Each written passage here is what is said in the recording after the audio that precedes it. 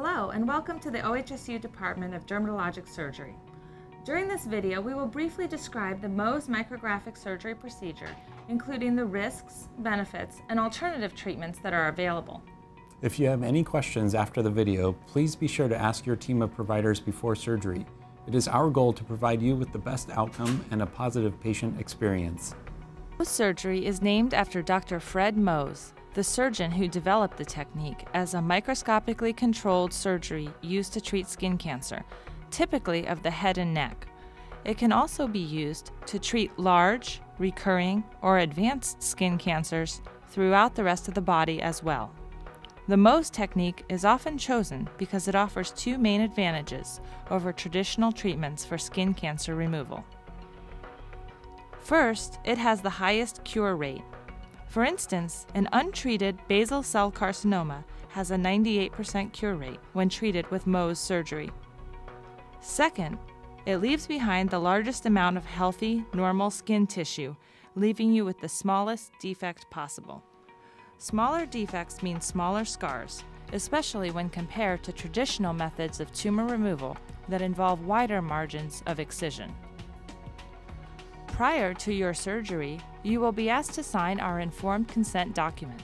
Please read this thoroughly and ask any questions you may have before signing. So what we're going to do today is numb up that area I've marked out and we're going to take it off with a very small margin of normal appearing skin around the obvious skin cancer. We'll check the margins under the microscope while you wait in the waiting area.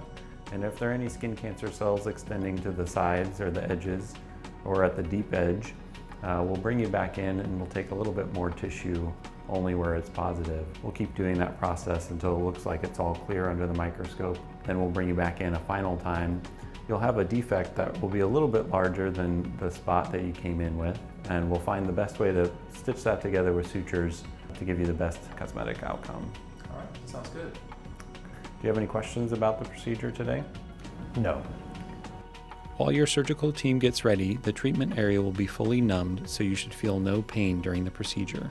We begin by scraping the visible tumor using a surgical tool called a curette to define the edges of the cancer. A narrow sliver of normal appearing skin is then removed around and underneath it with a scalpel so that a disc shaped piece of skin is removed. Normal bleeding is stopped with electrocautery and a pressure bandage. The removed skin is mapped, oriented, and marked with colored ink before being submitted to the technicians to process. The specimen is then frozen, cut, stained, and placed on a glass slide. Your surgeon then carefully examines the slides under the microscope to look for any residual cancer. Each removal and processing of the skin tissue is called a stage and takes approximately one hour, during which time you will be welcome to wait in our Mohs waiting area, including the fifth floor observation deck. If skin cancer cells are seen under the microscope, your surgeon maps the area of concern. You will then return to the procedure room, the affected region will be renumbed, and additional tissue will be precisely removed and submitted for another stage. This process is repeated until the deep and side edges are clear of cancer. To clear the majority of skin cancers, it takes one to three stages of Mohs surgery. Once your surgery is complete, there will be a wound which can vary in size but will always appear larger than what you saw during the initial examination. To repair this remaining wound, your surgeon will review your options and recommend the method that will likely result in the best cosmetic and functional outcome. The benefits of Mohs include a smaller surgical area and the highest cure rate for skin cancer. However, as with all surgical procedures, there are risks involved as well. Complications with Mohs include, but are not limited to, bleeding, infection, scarring, unsatisfactory cosmetic results, damage to underlying structures such as nerves and blood vessels, and recurrence of skin cancer in this location. Sometimes, due to the location of certain tumors, there may be nerve damage to the area. This is often temporary, but in cases with larger tumors in sensitive areas, the nerve damage can be permanent and may result in loss of function or sensation or weakness in the affected area.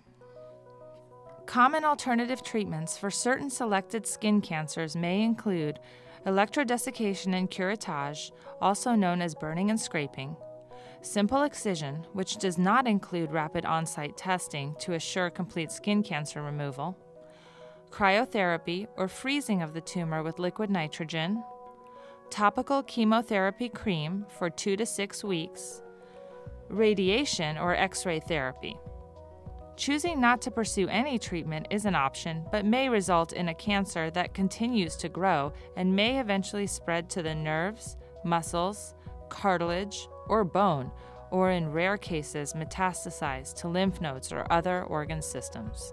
Oregon Health and Science University is a premier academic institution providing cutting edge treatments for skin cancer, including specialized laboratory testing not offered elsewhere. We are a referral center for the entire Northwest region for challenging and advanced skin cancer management and have expertise in complex facial reconstruction after skin cancer removal. Throughout your day, you will meet many members of our outstanding team, including our nurses, lab technicians, students, residents, and fellows. Our department is active in both education and research, which provides additional opportunities of engagement for our patients. Thank you for your attention and for choosing OHSU for your healthcare needs. Your surgical team is happy to answer any additional questions you may have, either before, during, or after your procedure.